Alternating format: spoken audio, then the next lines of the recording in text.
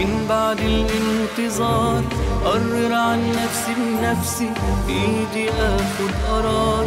اخلق من حزني ويأسي من حبس الانكسار.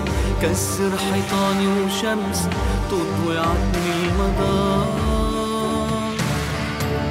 عم يبدأ العد العكسي لعمره شكل جديد. لا بكرة يقرر عني ولا قدر اللي بيريد لا اشكي الحظ الضايع ولا هالقلب الوحيد غرق زوايا امسي يا هالجرح العنيد وبعيش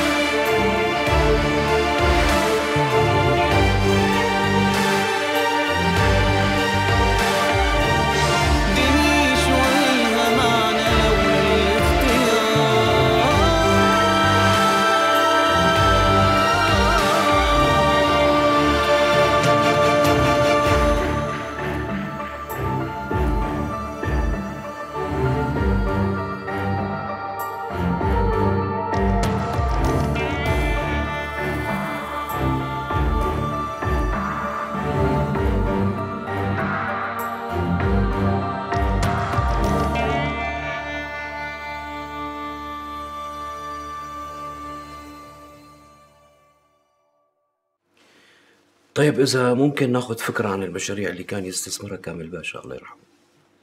أكيد طبعا. طب يلا. بطل أنتم بدكم تبلشوا شغل خلوني أنا فل لا لا اليوم ما في شغل. أنا باخذ الملفات بدرسهم بالمكتب وأكيد رح يكون في بيناتنا أكثر من لقاء وإن شاء الله خير. لو اني كنت معاني يعني أكسبك على الغدا بس طالما رح يصير في شغل كتير بيناتنا رح سامحك هيدي المرة. طيب. اسمحوا لي. الأوراق كلها مكتملة إيه كل شيء أنت عايزه موجود هون. شكرا كثير رح يكون بيناتنا اتصال.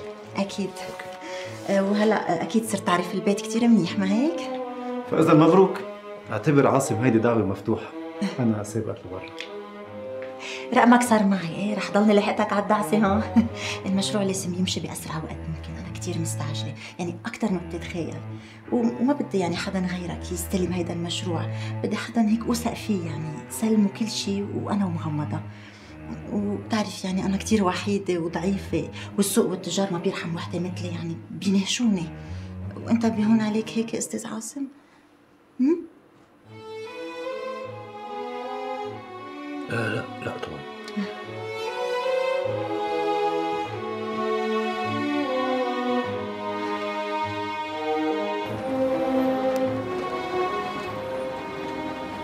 ازيكم يا ولاد. أهلا. إزيك يا نايا؟ هو أنت كنت مسافرة ولا إيه؟ آه كنت مسافرة. الله. طب عشان خاطري يا نايا والنبي المرة الجاية يعني لما تحبي تختفي قولي لنا عشان بنخاف عليكي مش عايزين نقلب عليكي الدنيا كلها. ونكلمك وما ترديش وكده. تعالي اوريك نفذت لك الزاوية دي إزاي يا نايم استغليت غيابك وعملت تعديل يا رب يعجبك. بصي هنا. آه حلو قوي بس يا ريت أصغر. اعملوا كده. أهو. عن إذنك. اتفضلي.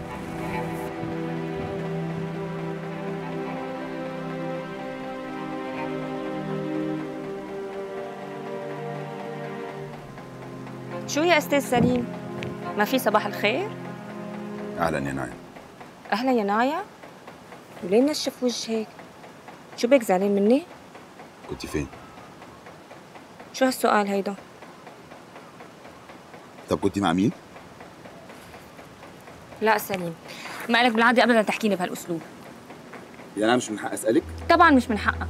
يبقى أنت كمان مش من حقك إنك تسأليني إذا كنت زعلان منك ولا لا. في فرق بين السؤال وبين التحقيق. أنت ما كنت عم تسألني بشكل طبيعي. تصرفاتك هي اللي مش طبيعية يا نايا.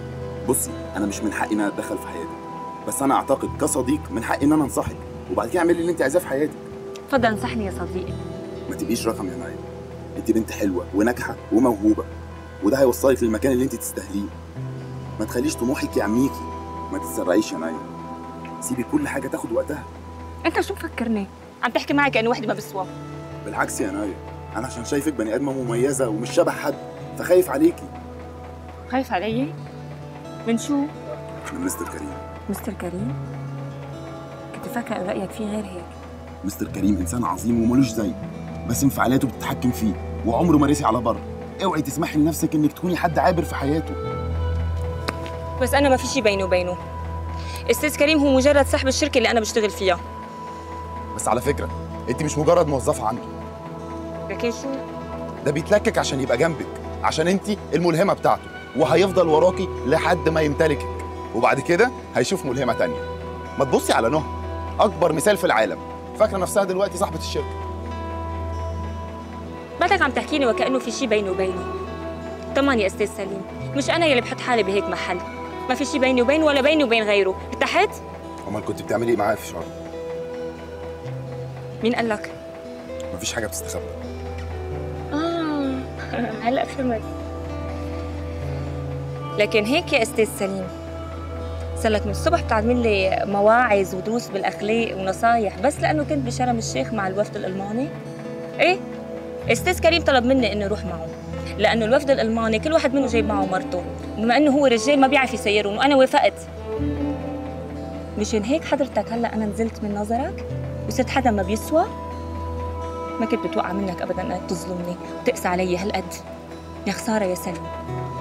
كيف فيك تسألني مره تانية ما كنت خسرت شيء نايا أنا آسف بس خوفي عليكي هو اللي يمكن خلاني اتسرع شوية ويمكن غيرتي عليكي. شرفك سليم بهالحكي لما نهى عرفت إنك رحت شرم الشيخ. نهى؟ شو بدها نهى؟ لما نهى عرفت إنك في شرم الشيخ. شو عرفوا نهى هيدي كمان؟ فضلت وراكي لحد ما وصلت لعم شلبي. لا مش بدها مني يا عمي هيدي؟ تطلع من حياتي بقى لحد هون وبس. الظاهر انها عرفت تلعبها صح. عشان عرفت مكانتك عندي وخايفة مستر كريم يطير من إيديها. خلي بالك يا نايا هي شايفة مستر كريم كنز كبير ومش هتقبل ابدا إن حد يشاركها فيه. دي مستعدة تعمل مجزرة لو حست إن أي واحدة هتخطفه منها.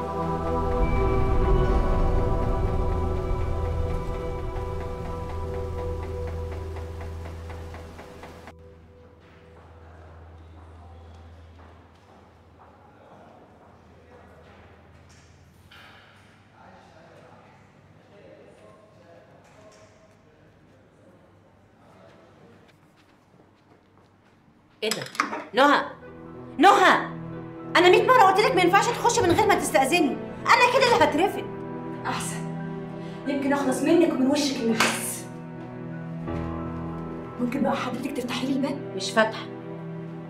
في إيه؟ دي آخرتها؟ الست انجي مش عايزة تفتح لي الباب.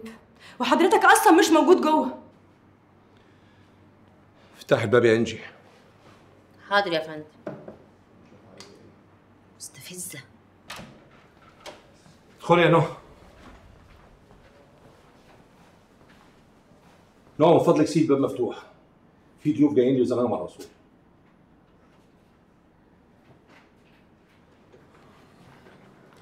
اتفضلي. ليه يا كريم بتعمل معايا كده؟ ليه بتذلني قدام حتة سكرتيرة؟ اولا إنجي مش سكرتيرة. دي مديرة مكتبي. وبعدين الحكاية في بيتها يعني إحنا هنا كلنا عيلة واحدة. آه. يمكن أنا بقى اللي بقيت غريبة.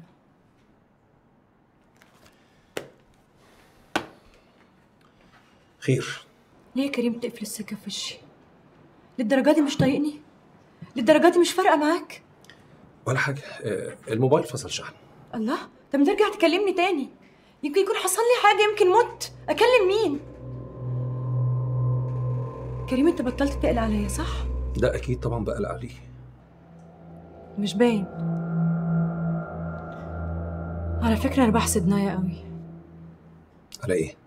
عارف لو تشوف سليم كان عامل عليها إيه في غيابها؟ سليم؟ آه. كان هيموت من القلق عليها يا كريم. كان هيتجنن. ومش بس كده. كان هيموت من الغيره كمان لما عرف إن هي معاك في شرم الشيخ. نوع الضيوف على الوصول. ولحد دلوقتي انت ما قلتيش انت عايزاني في إيه. اتفضلي سامحك. ولا حاجة. وحشتيني كنت عايزة أشوفك. واديك شفتي. لا ده أنا بجد بحسد نهار تاني ده إيه كمية الحسد دي؟ لا ولا حاجة. لما شافها سليم كان هيتجنن. وقعد يتخانق معاها وهي قعدت تعيط. كانت وحشاه قوي يا كريم. آه، بس كان بيتخانق معاها ليه؟ وأنا إيش عرفني. هو أصل أول ما شافها خدها وراح لبعيد شكلهم كده ما كانوش عايزين حد يسمعهم هما بيتكلموا. أهلا يا فندم. الأستاذ كريم في انتظارك. الضيوف وصلوا أمشي أنا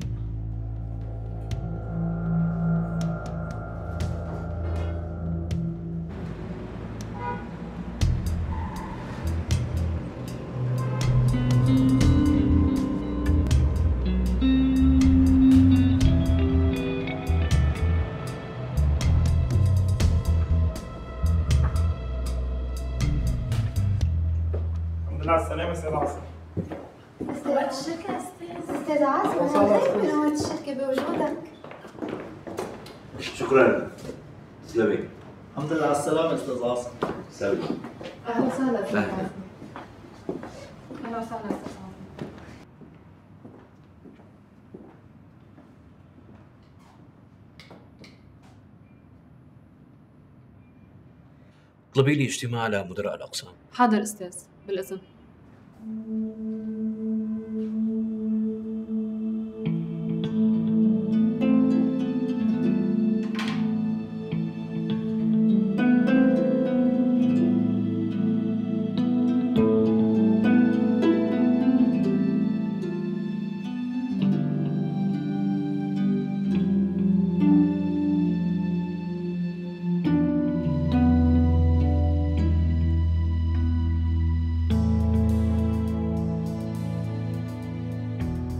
مدام كامل باشا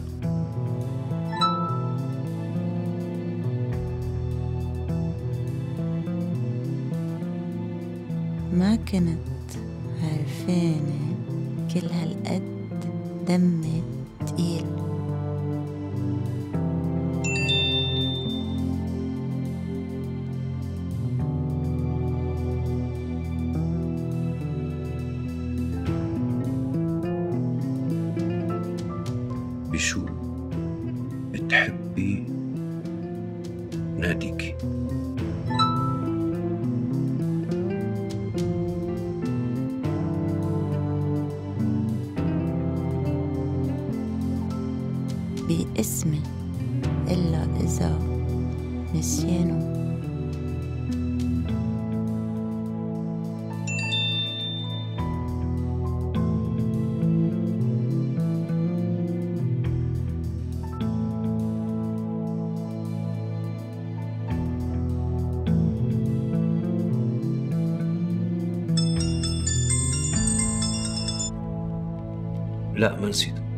مدام شهد.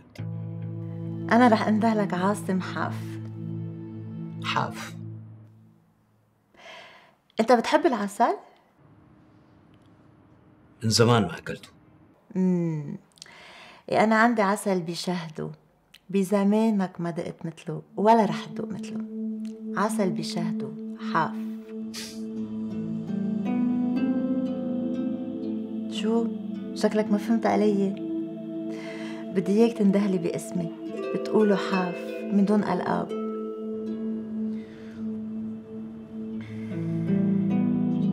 خلص أنا من اليوم ورايح ما راح أنسى اسمك. راح نادي لك شهد. حاف.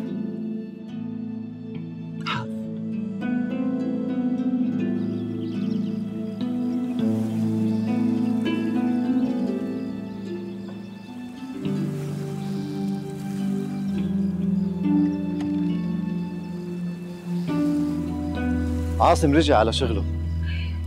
بتصوري منا؟ انت انت ملاك يا جبران. ومأخر ليرجع. لا شيطان يا جبران شيطان.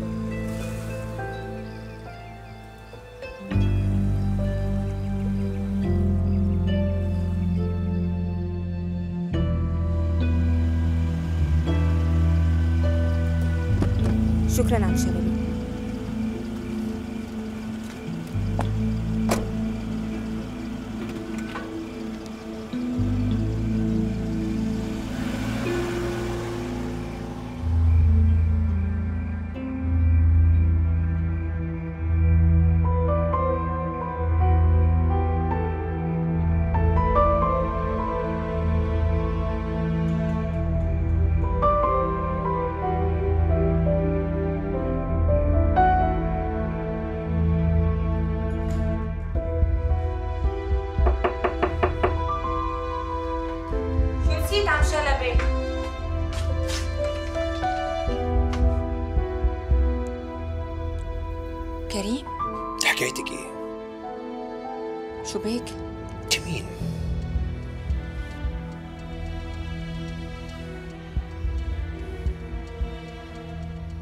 صاير لك؟ هو سليم عايز منك إيه؟ آه نهى كانت عندك بالمكتب؟ أمال. ما أنت اديتيها مادة دسمة لازم تتسلى بيها. يلا. احكي لي. شو بدي أحكي لك؟ احكي لي حكاية سليم. لا ليك. لحد هون وبس. لأني اختنقت. ما تغيريش الموضوع وجاوبيني على سؤالي. كل يوم بتفاجئني بشخصية جديدة. مش أنت كريم اللي تعرفت عليه أول مرة. وانتي انت حكايتك إيه معايا؟ أنا لازم أمشي اثبتي هنا راح فين؟ راح عند سليم؟ شو بدك مني كريم؟ عايز أفهمك عايز أعرف إيه اللغز اللي في حياتك دي حكايتك معايا يا بنت الناس هول الأسئلة ما كانوا ضمن شروط التعاقد مع الشركة ما هو برضه أي مدير شركة لازم يعرف موظفينه جايين منين ها أول مرة بتحكي لي بهالرسمية بس بتعرف شو؟ يمكن هيك أحسن. يمكن هيك بخلص من التلميحات ومن التعليقات تبع الموظفين الشركة. وأصلا لازم يكون في حدود ومسافة بين صاحب الشركة وبين موظفينه.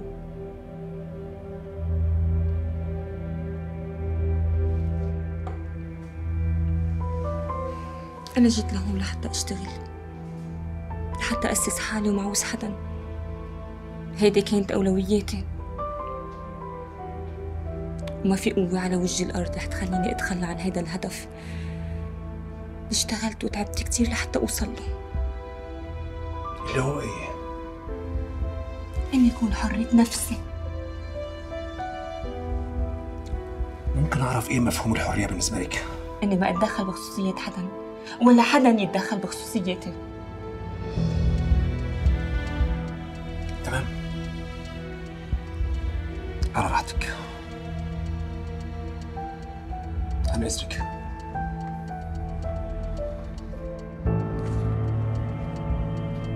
كل حال اللي حصل ده كله مش هيأثر على وجودك في الشركة. وأي حاجة تحتاجيها أنا تحت أمرك. بس يا ريت يبقى عن طريق إنجي بعد كده. تصبح على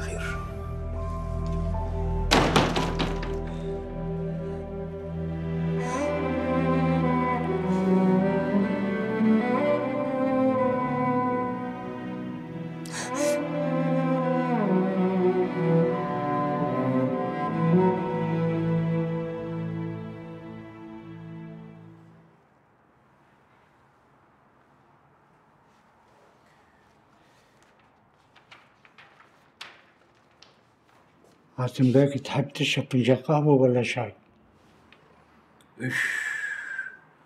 الساعة واحدة والله ماني حاسس بالوقت انت يعني يا ابو سالم سهران لهلا بالمكتب ليش؟ ليش أنا مصدق إنه حضرتك رجعت نورت لنا الشركة أستاذ عاصم والله بغيابك كنا مثل اليتامى تسلم يا ابو سالم تسلم يخليك يا رب نحن حابين نبقى بجنبك بس احترمنا رغبتك ما حبينا نجهزك أخ تسلم يا أبو سالم تسلم. أنت والشباب ما بتقصروا بكل الأحوال أنا ما رح طول هلأ بوصلك طريق. ما في داعي تعذب حالك أستاذ الفيسبا بعدها شغالة طيب روح لعند عيلتك أنت ما في داعي تتأخر. يعني ما بدك تشرب شي أستاذ؟ لكن تصبح على خير أستاذ.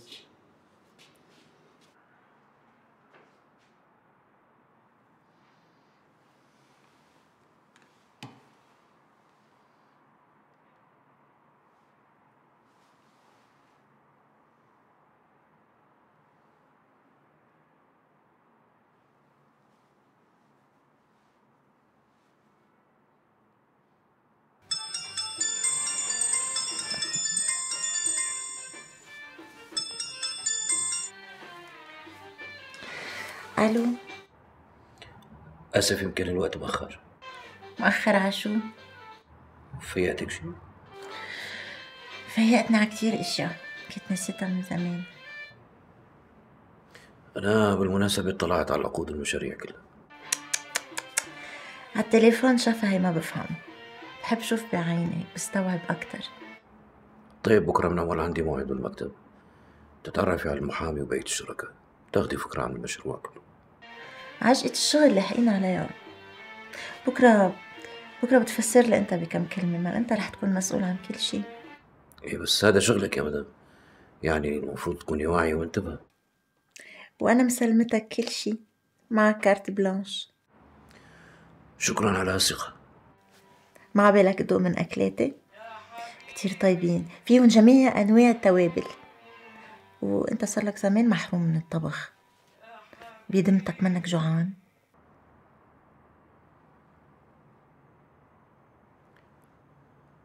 ميت من الجوع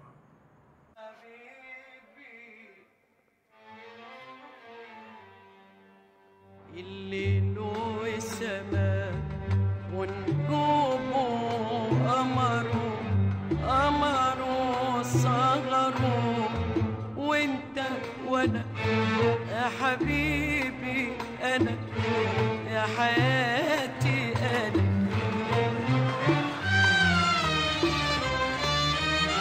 والهوى أغمن الهوى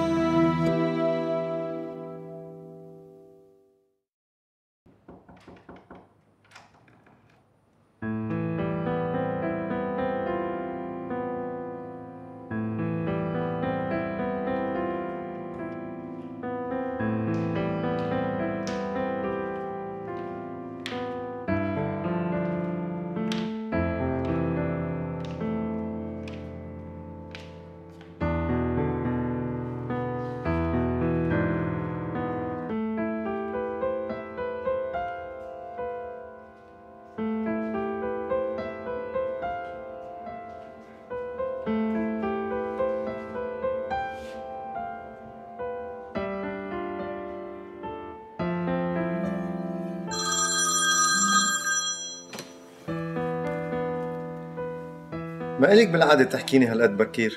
عاصم لهلأ ما رجع على البيت. آخ آخ منك يا شهرزاد آخ. قولك بيكون عندها يا الله مالي عرفانة اقلق عليه ولا افرح له. بس عم حاكيه خطه مسكر لهلأ. ما لا ما تعتلي هم. هلأ أنا بطمن لك عنه بس آه، بعد بكير حتى تلفنن وخاصة إذا مطولين السهرة. طيب واخرتها هيك شو قصتك يا منى؟ بعد ما شفنا أولتها ما بعرف. جبران عاصم ماله حمل صدمة جديدة. بعدين شو رح نساوي إذا عرف إنه هالقصة نحن اللي ركبناها؟ بتعرفي شو؟ بعد كل شي مر على خيك عاصم.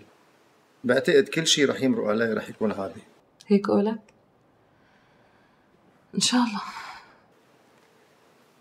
هلأ طمنيني. شو أخبار قهوتك؟ ليك على النار. منال أنا اللي لازم تعتلي همه إذا مرق شي نهار وما شربت القهوة معك. مفهوم؟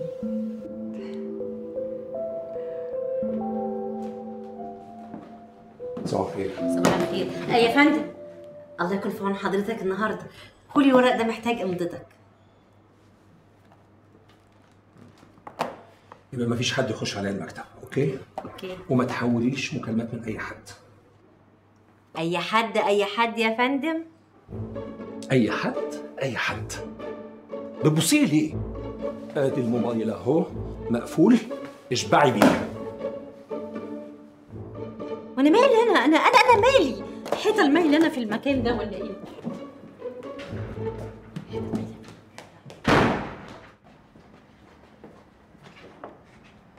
الحمد لله على السلامة اشتقت لك أنا كمان. إيه مش هيك دغري جيت لعندي وشقيت علي اللي بيسمعك بيقول كنت بأستراليا ما كل اللي غبتيهم يومين. على الأقل فيك تسافري لك هيك شي جمعة لتنحسب فاكانس إيه لأنه فاس كثير بخلي وقت تتهنى بالفاكانس ان شاء الله رجعتوا تخانقتوا من جديد؟ يعني هو مثل كفو صاير يعني ما بقى يحمل كلمه معناتها أنت اللي بلشتي. هلأ بدمتك. إنه معقول الواحد يمنع الثاني يحزن؟ إيه رجعنا لنفس القصة. الحزين أخذك معه مشوار لتطلع من جو الحزن. انت أخذت الحزن معك وخربتي له مزاجه. واخرتها ليلى. صدقيني سامي أنا ما بدي هيدي القصة تاثر على حياتي أنا وفارس. ما بدي أخسره. بس يعني هو لو قبل نأجل هالسفرة يومين كنت ارتحت وريحته. ليش بقى؟ ما تخبري نزيه؟ لا طمني. اتصلت فيه دكتورة ندى وقالت لي إنه في قصص ضروري اعرف عن نايا. رجعنا لقصة نايا من أول وجديد؟ صدقيني سامية أنا عن جد ما بقى بدي أفكر بالموضوع بس يعني هي وقت اتصلت فيي حصت صرت بدي أعرف عن شو بدها تحكيني شو رح تستفيدي؟ أقل معلومة بتفيدني سامية كرمال شو؟ تحط هيدا عاصم بالحبس ليلى أنت بدك تنتقمي لنايا أو لحالك؟ كيف يعني؟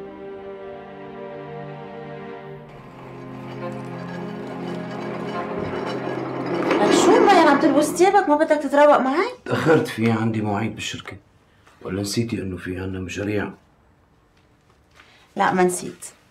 بس أنا قصد تركتك تنام حتى استفيد منك أكتر وقت ممكن. بكرة بتملي مني ها؟ أنا شخص نكد كتير وما بينعش معي. أي معاش اللي بيقول عنك هيك. ما بعرف كيف ما التقيت فيك قبل هلأ. قبل هلأ كان صعب. صعب كتير تلتقي فيه. سوي لي الابيض يعني حظي كتير حلو. إن شاء الله. بنترك على غدا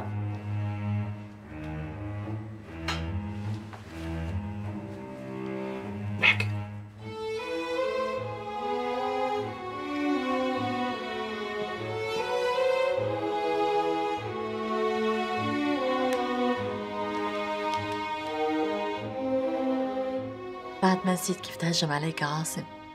وهين كرامتك وكرامة فارس؟ هين كرامة الكل. وإذا أنت مفكرة عم بعمل بس هيدا الشيء لأنتقم من عاصم بتكون كتير مستخفة الموضوع سامية. أنا كان فيني أرفع دعوة عليه ولا كتير مستخفة أنت بقدرت على الرد. بدك تخبرينا عنك؟ ما أنت ما بين مثلك ميت. منيح فهمت علي. المهم فارس يفهم. مش ضروري فارس يعرف. رح يجي يوم ويعرف اسمعي مني ليلى. واقلبي هالصفحة إنه أنت مفتكرة زعلتي على نايا أكتر مني؟ هي راحت وأخذت شقفة من روحي بس الحياة بدها تستمر ما لازم ضلنا قاعدين وحاطين الحزن بالجرن هيدا منا عيشة وأنت شو هالابتسامة على وجهك؟ شكلك مبسوطة وشو كمان شايفة على وجهي؟ ولا منور وصار مثل غيف التنور. وشو كمان؟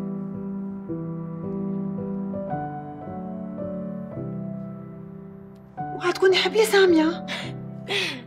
إيه أخيرا أخيرا. مبروك حبيبتي مبروك. وإذا إجت بنت رح سميها نايا.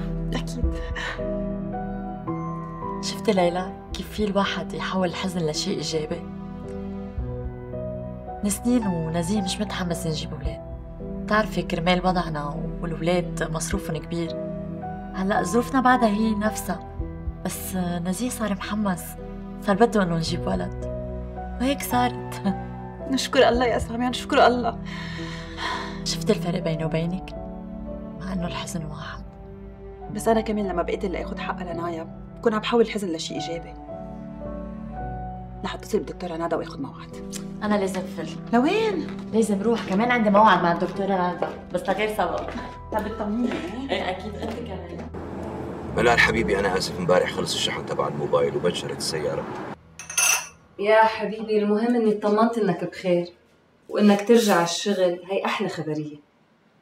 لا لا أنا بخير ولا يهمك بخير. بس قولي لي أنت لازمك شيء بدك شيء بعد لك شيء بكل الاحوال أنا ما راح أتأخر.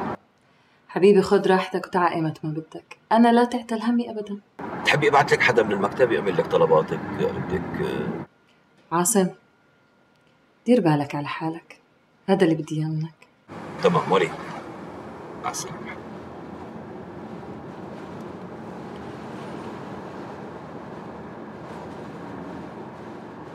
جبران خلص أنا ما عاد فيي بدي أحكي له الحقيقة. يا حياتي يا شهرزاد. فهميني شو قصتك هلا أنت؟ ما في بقى كذب عليه بدي عانه يكون مخدوع. يا الله. يا شهرزاد فهميني نحن على شو اتفقنا؟ قلت لك أنا طلعيه من الحالة اللي هو فيها. مش تتجوزيه بحبه جبران بحبه بموت فيه. وإذا بيتركني ما بعرف شو بعمل بحالي. يا عيني أنا يا عيني اللي بيسمعك عم تحكي. بيقول صار لهم 10 سنين مع بعضهم هودي ما خص جبران ما خص. عاصم عاصم هو الشخص اللي كنت عم بستنى كل العمر. حلو. هيدا اللي كان ناقص. إيه شو بيصير يعني؟ إيه شو بيصير؟ شو بيصير إذا شي مرة كنت صادقة مع حدا؟ لا ابدا حبيبتي ابدا. هيدا أقل واجب. يعني أنت ما حلالك تتوبي إلا على إيدين عاصم هلأ. بدي أعتذر منك جبران يمكن ما أقدر أنجح بهيدي المهمة. يا الله يا الله يا شهرزاد ما أنت منك مضطرة تقولي له شيء لعاصم. إيه يعرف مني أحسن ما يعرف من غيري. يا شهرزاد أنت لا خيفاني وعتلاني هم. عاصم ما بيتدخل بالخصوصيات. ما رح توصل لهون. مين قال لك ما رح توصل لهون؟ إيه مين قال لك؟ أنت كنت معنا شي عرفت شو صار معنا شي يا حرام عليك يا عاصم. شو يا شهرزاد؟ الهيئة ناوية علي منيح. إيه وليش لا؟ يعني من شو بشكي أنا دخلك؟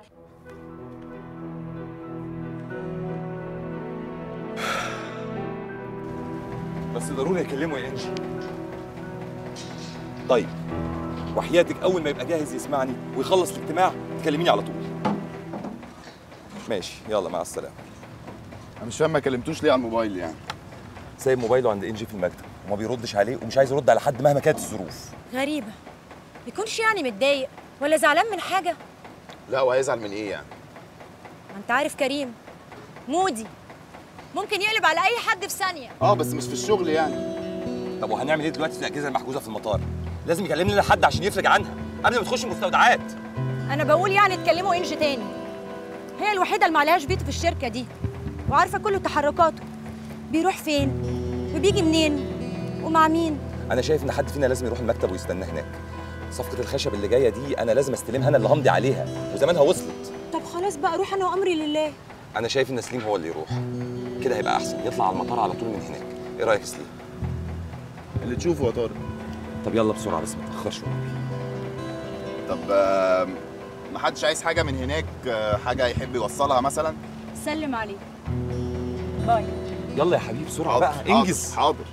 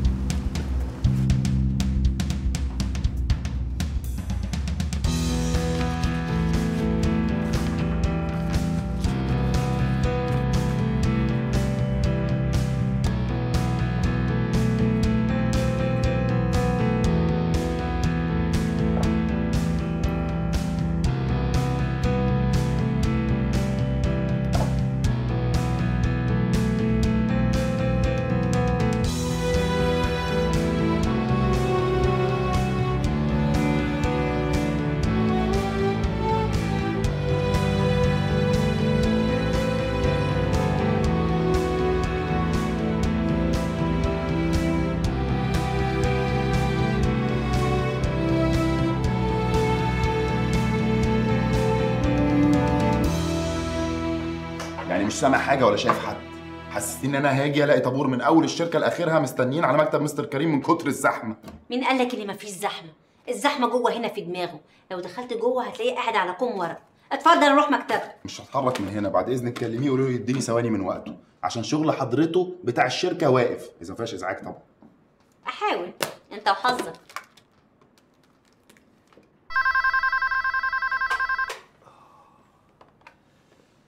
أيوه يا إنجي. سليم عايز يقابل حضرتك يا فندم. خليه يتفضل حاضر يا فندم. قلت لك لازم تحرج نفسك. اتفضل ادخل.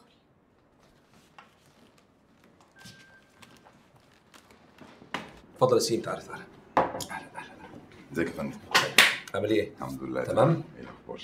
آه اتفضل.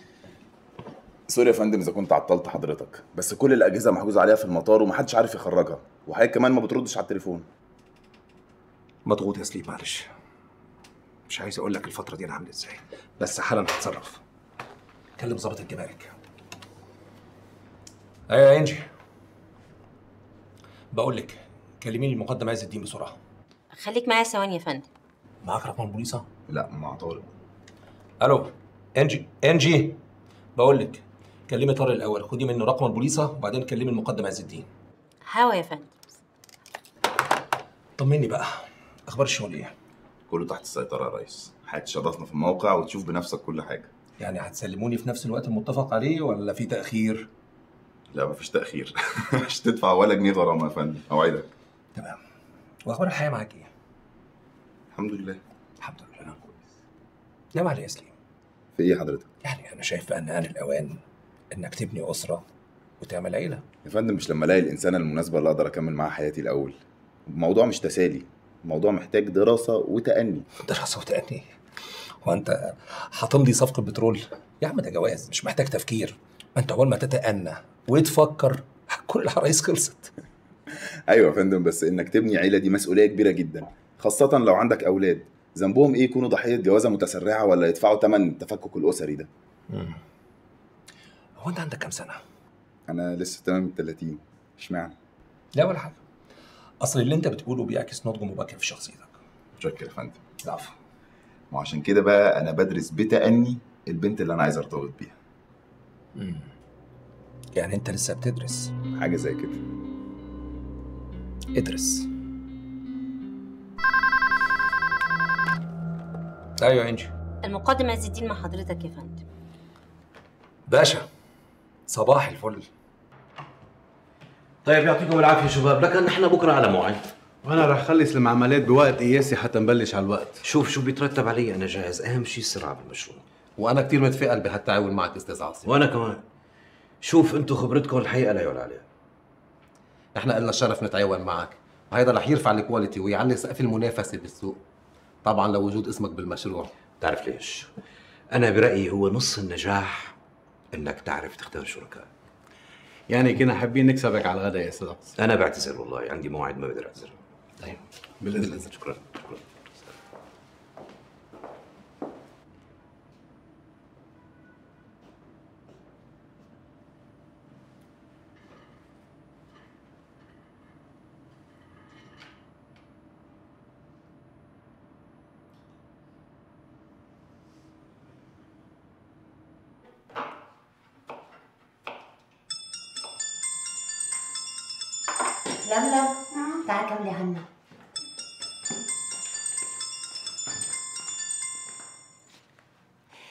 شو عرفك إنه الغدا صار جاهز؟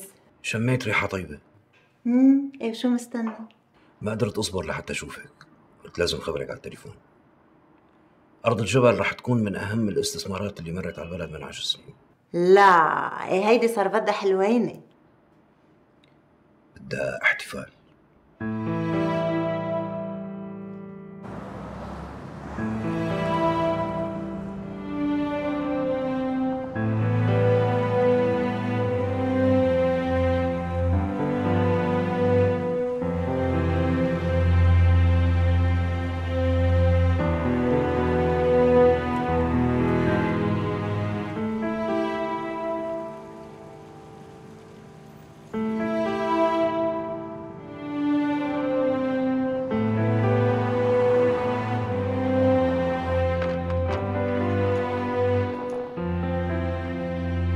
تقبلي مني بعت هالورد المتواضع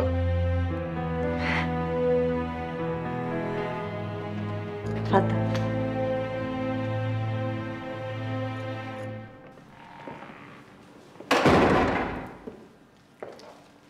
عن جد ميرسي. وما تقول انها متواضعة. بالعكس. هيدي اغلى هدية حصلت عليها بحياتي بس لأنه منك أنت. بلا مبالغة. هي كلها بوكيت ورد.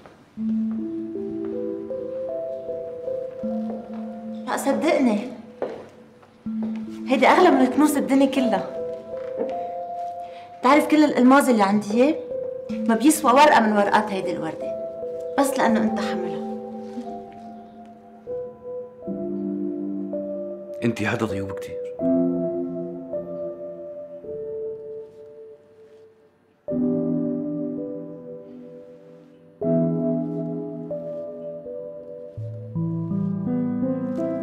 بتعرف قد إيه صار لي ما دخلت على المطبخ طبخت بإيدي. يمكن والله من قبل ما اخلق إمتى تعلمتي؟ يمكن أنا وبطن أمي. واضح إنه نفسها طيب كتير على الاكل لك جوزي جوزي. مات حزين يا حرامه قبل ما ياخذ أكلي. خسارة خسارة كان طويل عمره مشان تعرف إنه ما صحت لغيرك. شوفي انت هيك عم تكبري لي راسي. ديري بالك أنا ما بنعطى وش. بخاف تقضي وقتك كله بالمطبخ يا ريت والله ما عندي مشكلة. ما عندي مشكلة حتى لو ما شفتك. المهم ضلني حاسة بنفسك بالبيت. رح بلش بهيدا الشيء حاضر. رح صبر لك من هيدا الشيء